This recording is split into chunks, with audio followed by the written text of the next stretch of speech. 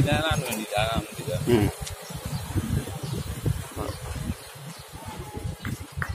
ဟောလေတယ်လီနော်တွေကဈေးကြီးလို့မြန်မာနဲ့ရုံငံသွားပြီးစုံစမ်းပြီးမြန်မာနဲ့တက်ဖို့အခုကြတော့သတင်းချက်လက်တွေကြတော့အင်တာနက်ပဲအားကိုးပြီးဖတ်ရတာလေအခုကတယ်လီနော်တို့ဘာတော့ဘေးတွေအရင်ကုန်တယ်လေကုန်တော့အခုအဲ့ဒါမြန်မာနဲ့ပေါ့မြန်မာနဲ့ကဥစ္စာတစ်ထောင်ဘူး9ရက်သုံးလို့ရတယ်ဆိုလို့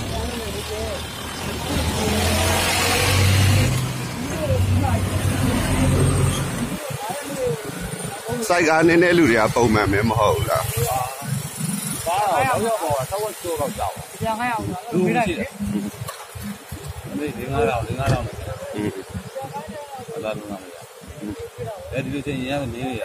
နားတော့မနာအောင်ဒီစက်ကတော့ကောင်းရသူကထုံးဝက်လောက်တော့မကောက်ကြဘူးအဲကောင်းလိုက်ရလောက်တယ်ပြန်ကောင်းတော့ဒီကတော့မနက်က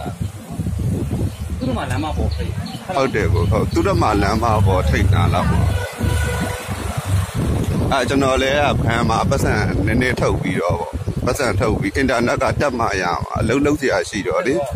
အဲ့ဒါနဲ့ဖန်မှာပတ်စံလေး3000လောက်သွားထုတ်ထုတ်ပြီးတော့အခုအင်တာနက်ကိစ္စစုံစမ်းပြီးတော့တက်အိမ်မှာပြီးရင်အင်တာနက်နဲ့အလုပ်လုပ်အောင်ပေါ့အဲ့ဒါကြောင့် အအပြင်အခုလိုထွက်နေတဲ့လူတွေရှိတာလဲသဘောကျတယ်အကုန်လုံးအိမ်ထဲမှာနေတယ်သူပို့ပြီးတော့6ကပ်ပြီးတော့ပို့ပြီးတော့စီးပွားရေးရလဲပို့ဆိုးနိုင်တယ်လေနော်နေတဲ့လူကနေထွက်ပြီးအလုပ်လောက်ကမဲ့လူကလုပ်ပေါ့